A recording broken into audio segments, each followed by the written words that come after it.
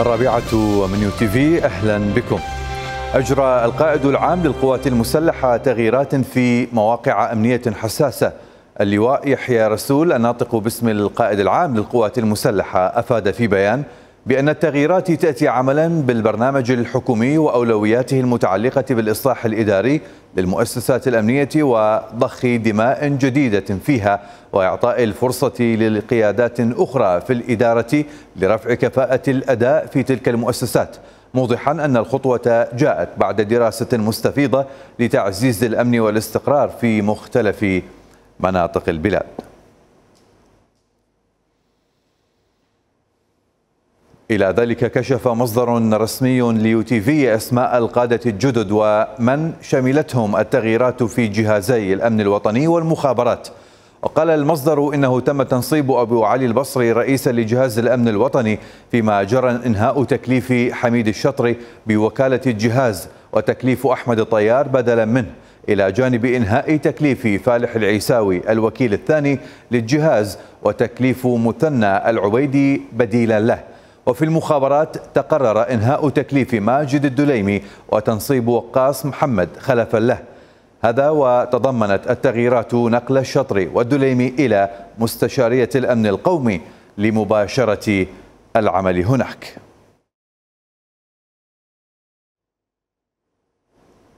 شن رئيس الوزراء محمد الشيع السوداني هجوما على من وصفهم بشلة الفاسدين الذين يريدون الانقضاض على الموازنة بعد إقرارها كما فعلوا مع موازنات انفجارية سابقة. مؤكدا أن الحكومة تتابعهم بكل الوسائل. هناك شلة من الفاسدين. تنتظر الانقضاض على هذه التخصيصات المالية. وتعد العدة بمختلف الوسائل والسبل حتى تستثمر هذه الأموال. كما استثمرت الأموال في الموازنات الانفجارية السابقة والتي لم تترك أي أثر بما يوازي هاي الأرقام اللي صرفتها الدولة طيلة السنوات الماضية. نفسهم موجودين.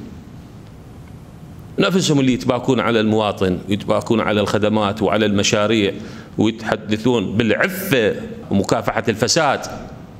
هذه الأصوات هي كلها تنتظر. ببعض عاف النفوس الموجودين بالدولة تنتظر الانقضاض على هذه التخصيصات. وخلال جلسة مجلس الوزراء وجه السوداني بإلغاء إفادات الوزراء وتقليلها بالنسبة للمديرين العامين مطالبا كابينته بالتفرغ لإنجاز المشاريع المقرة في الموازنة. نريد نقلل الإفادات إفادات السادة الوزراء السادة الوكلاء الوفود لاحظنا هناك نسبة متزايدة من الإفادات وتأثر على مجمل عمل الوزارة. هذه الستة أشهر فترة مفصلية في الوزارة في البرنامج الحكومي لخدمة أبناء الشعب والمواطن اللي ينتظر من هذه الموازنة اللي يسمع فيها 200 تريليون دينار. شنو أثرها الإيجابي اللي راح ينعكس؟ من خدمات من آه، وضع معيشي اقتصادي الكل تنتظر. فيراد أن آه، نتفرغ لهذا لهذه المهمة. يتم تقليل الإفادات بالذات السادة الوزراء. إذا مو إلغاها. كشف المتحدث باسم الحكومة باسم العوادي ليو تي في عن قرب إطلاق حزمة ثانية من الطعون في الموازنة. وتقديمها للمحكمة الاتحادية نافيا أن تعطل هذه الطعون بنود الموازنة.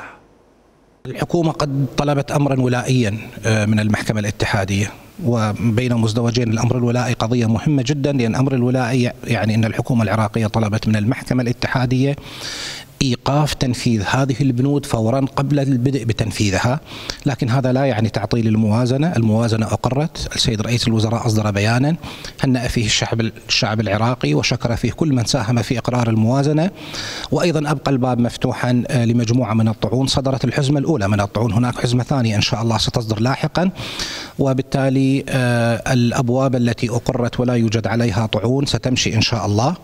والأبواب التي فيها طعون ننتظر رأي المحكمة الاتحادية بإصدار أمر ولائي بإيقافها فورا قبل أن نبدأ أو ندخل حيز التنفيذ في البنود المطعون فيها. رجح خبراء في القانون والسياسة كفة الحكومة في دعوى الطعون بالمواد المضافة على قانون الموازنة وقال الخبراء إنها تعارض برنامج رئيس الوزراء وتحمله أعباء مالية تفاقم العجز الكبير مزيد نتابعه في هذا التقرير.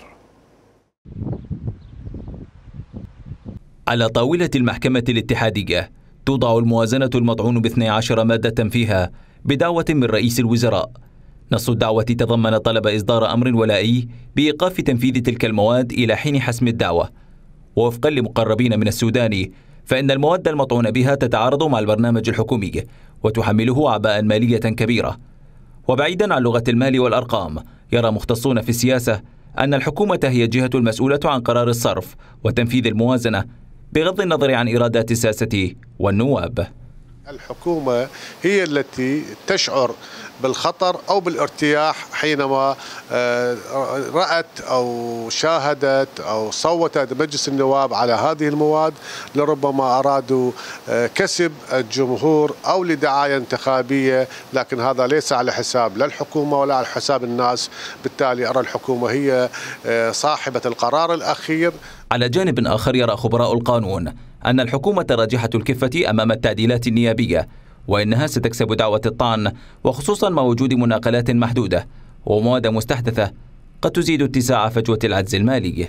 أحيانا يقوم مجلس النواب آه، بتغيير في بعض بنود الموازنة يعني يسوي تنقل بين آه، بين مبالغ مادة إلى مادة أخرى.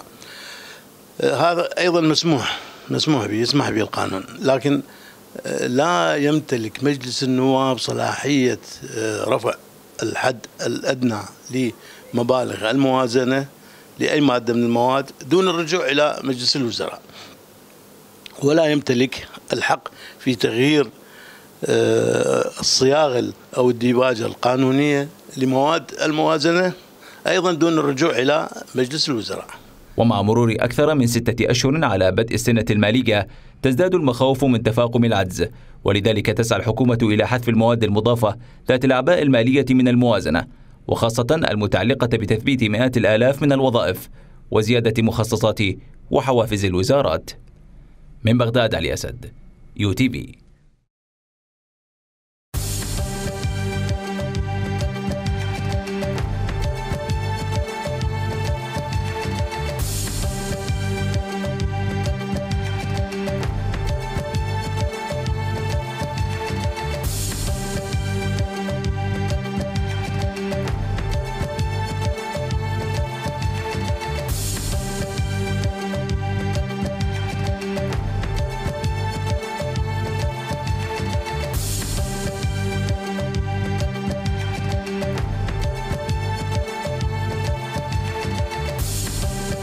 اتفق العراق والمملكة المتحدة على إنجاز اتفاقية الشراكة والتعاون وعرضها على البرلمان في البلدين هذا العام. بيان مشترك بمناسبة الحوار الاستراتيجي البريطاني العراقي والذي عقد في لندن في اليومين الماضيين أكد أهمية تسريع انضمام بغداد إلى البنك الأوروبي لإعادة الإعمار والتنمية ومواصلة العمل مع صندوق النقد الدولي بشأن برنامج طويل المدى لدعم العراق. والتزمت المملكة المتحدة بمشاركة خبراتها مع العراق لتحقيق الإصلاح الاقتصادي وتنويع مصادر العائدات الحكومية فيه وتسهيل انضمامه إلى منظمة التجارة العالمية. علقت منظمة أطباء بلا حدود أنشطة طبية أساسية داخل موقعين صحيين في نينوى إثر نقص شديد بمخزون الأدوية والمستلزمات بفعل تعقيدات إدارية, وروتينية. المنظمة الدولية ذكرت في بيان أن القرار جاء نتيجة إجراءات رسمية معقدة وغير واضحة أعاقت ضمان وصول الإمدادات الطبية الكافية إلى المشاريع عبر مطار بغداد الدولي ونقلها داخل العراق. وأضاف البيان أن المرافق الطبية المعلقة العمل بها في الموصل كانت توفر خدمات طارئة عالية الجودة في مجالات الصحة النفسية والنسائية والتوليد ورعاية حديثي الولادة وجراحة العظام. لتعويض نقص مياه الري يلجأ بعض المزارعين في نينوى إلى استخدام مياه الصرف الصحي غير المعالجة من دون اكتراث لمخاطرها على صحة الإنسان والبيئة. انعدام شبكات الصرف الصحي في الموصل حول الأودية الموسمية إلى مبازل دائمة الجريان تعتمد على مياهها عشرات المزارع في إرواء المزروعات. فاضل علي مزارع أسس شبكة بدائية لتنقية المياه الآسنة القادمة من وادي الخوصر أيسر الموصل. يقول إن هذه المياه تغنيه عن استخدام الأسمدة لأرضه. يعني ما بي ملوحة مياه الخوصر مياه البير بي ملوح يعني يفيد الهرش خير من مياه البير. يعني الهرش يشتغل عليه مياه البير يسوي ملوحة. لازم تدفع السماد كيمياوي. وتعتمد دول كثيرة تعاني من أزمة في المياه على استخدام مياه الصرف الصحي في الزراعة باستخدام مختبرات وآلات متطورة لتنقية المياه. لكن انعدام البنية التحتية لتنقية هذه المياه يجعلها خطرا على حياة الإنسان بحسب متخصصين في البيئة خصوصا القادمة من المستشفيات والمصانع. أنت من تسميته الصرف الصحي. يعني كل شيء تحتويه. تحتوي بالاضافه للمواد الكيميائية تحتوي على شوائب ومخلفات ودهن المحركات السيارات يعني أساسا هي عبارة عن عن مستعمرة من الوباء. فالمشكلة وين؟ المشكلة مو بالنبات قد يستفاد من الصرف الصحي قد يستفاد جزء منه بس الغالبية هي غير صالحه لاستهلاك البشري. الفرق الجوالة لبيئة نينوى أخذت عينات من تلك المحاصيل لفحصها مختبريا وشكلت لجنة خاصة لمحاسبة الجهة المتسببة للضرر. كثفت اللجان الفنية في مديرية بيئة نينوى الرقابة على أصحاب المزروعات آه، ويتم أخذ عينات من سواء النبات أو المياه وخصوصا المياه آه، واخضاعها إلى الفحوصات المختبرية لتبيان مدى يعني نسبة التلوث فيها.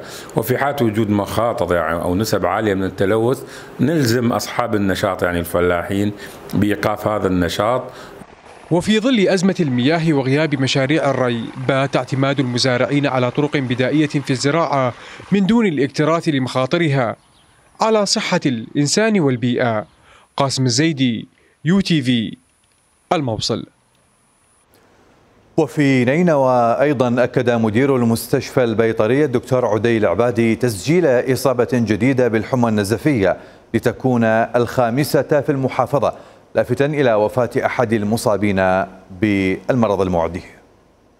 أه، سجلت محافظة نينوى ليلة البارحة إصابة جديدة بمرض الحمى النزفية لشاب بعمر 19 سنة من الجانب الأيمن في منطقة أه، حي الصحة.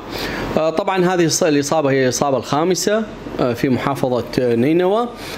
طبعا إحدى الإصابات فارقت الحياة من هذه الإصابات الخمسة إحنا يعني مباشرة من مجرد يعني وصول نتيجة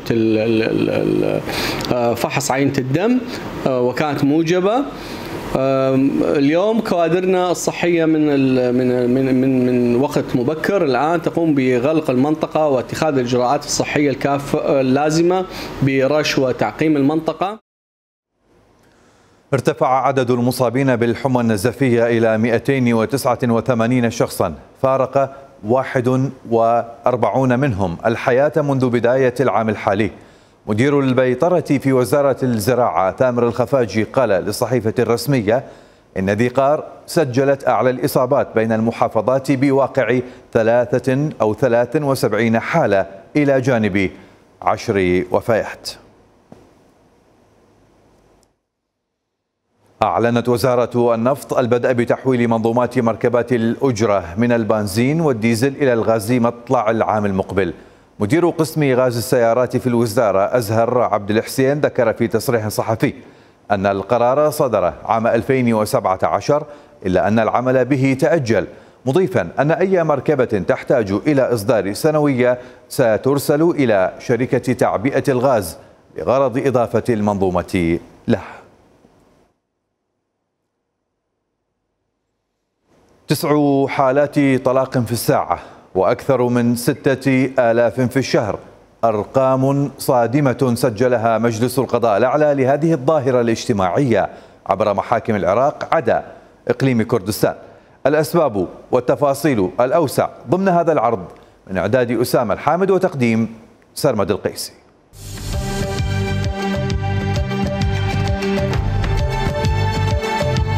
أكثر من 200 حالة طلاق يوميا في محاكم العراق.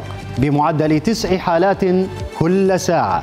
أما شهريا فسجلت إحصائية أيار الماضي وحده أكثر من 6700 حالة. أرقام صادمة. أصدرها مجلس القضاء الأعلى عن مجمل محافظات البلاد باستثناء إقليم كردستان. تذكر تقارير رسمية أن أعلى رقم مسجل لحالات الطلاق كان عام 2021 حيث شهد ما يزيد على 73 ألف قضية. وخلال العقد الممتد بين عام 2004 حتى عام 2014 كانت كل خمس زيجات يتخللها طلاق واحد. وعلى مدار هذا العقد وقع أكثر من نصف مليون طلاق بين مليونين وستمائة ألف زواج.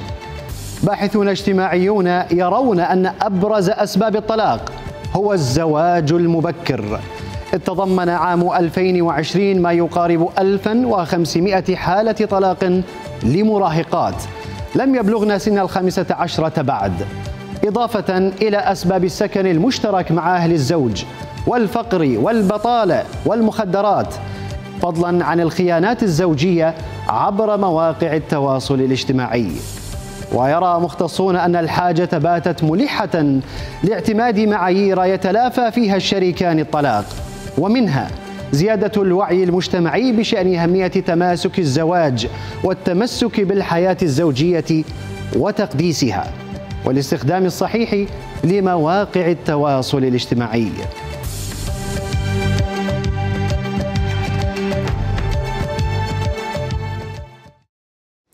ترفض مناحل معهد الكوت التقني أسواق واسط بعسل الكوكتيل الطبيعي. فيما وفر المعهد أكثر من ثلاثة دوانم مزروعة بزهور ونباتات يفضلها النحل لإنتاج هذا النوع من العسل. هذه الأشجار تابعة لمعهد الكوت التقني في الجامعة التقنية الوسطى. يتفحصها علي سلام مع مناحل المعهد ضمن مشروع إنتاج العسل بأسعار مدعومة فسعر كيلو العسل الأصلي هنا ثلاثون ألف دينار فقط. هاي هاي الخلايا مال النحل يعني ما شاء الله يعني عسل تفرز عسل طبيعي 100% وتكون أسعار العسل يكون أسعار مناسبة يعني آه، ليس لغرض الربح يعني تكون في بها نسبة تخفيض يا دوب تسد تكاليف الكلفة اللي اللي يعني اللي صارت عندنا على المناحل الموجودة بالمعهد التقني كوت. إيش قد أسعار العسل عندكم وإيش قد عندنا نفسه؟ عندنا مثلا العسل عندنا العسل اللي يسموه الكوكتيل عسل النباتات المتعددة اللي هي آه، يعني نبات السدر ونبات الكاليبتوز والنباتات البرية. نبيع الكيلو مالته ب 30000 النص كيلو نبيعه ب 15000 يحتاج النحل إلى ثلاثة دوانم كحد أدنى لإنتاج عسل الكوكتيل فيما وفرت عمادة الكلية مساحات شاسعة مزروعة بأشجار يفضلها النحل كزهرة كف مريم والمورينجا وبوق النحل. آه، بدأ بشيء بسيط وتوسع تدريجيا زودنا الخلايا والطرود ولله الحمد. يعني اليوم عندنا كان الفرز الثاني خلال هذه السنة. وفضلا عن إنتاج العسل. تنتج هذه الورشة تراكيب من سموم النحل مثل الأغذية العالية البروتين ومراهم علاج المفاصل ومستحضرات التجميل. طبعا هذا الكريم باعتبار النحل يحتوي على ست منتجات. أحد منتجات الأهم الموجودة بالنحل هي سم النحل. سم النحل نستخدمه بالتجميل. قرابة ألفي دونم خصصت للمعهد التقني للمشاريع الخدمية والعلمية. في عدة قطاعات ترفض السوق بمنتجات تضاهي المستوردة وبأسعار أقل بكثير. من واسط حمزة الأسدي يو تي في. شكرا لكرم المتابعة. بأمان الله.